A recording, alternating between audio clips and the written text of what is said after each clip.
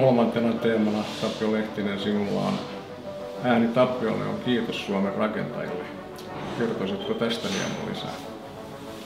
No musta se on kansallinen häpeä, että, että me aikanaan ei olla hoidettu sotaveteraaneja paremmin kuin, kuin miten se meni. Ja, ja tuota, mutta nyt on, nyt on tärkeää muistaa, että kun Suomi on, on valittu kai kuudetta kertaa peräkkäin maailman onnellisimmaksi maaksi, niin se, että me, me saadaan tässä onnellisimmassa maassa elää, niin se on tämän sotien jälkeisen jälleenrakentaja sukupolven työn ansiota. Ja, ja he on elänyt huomattavasti vaatimattomammissa ja vaativammissa olosuhteissa kuin mitä, mitä me ollaan saatu elää. Ja nyt on meidän velvollisuus huolehtia, että, että heille tarjotaan heidän arvoisensa hyvä vanhuus ja heidän palvelut, että me pidetään heistä hyvää huolta.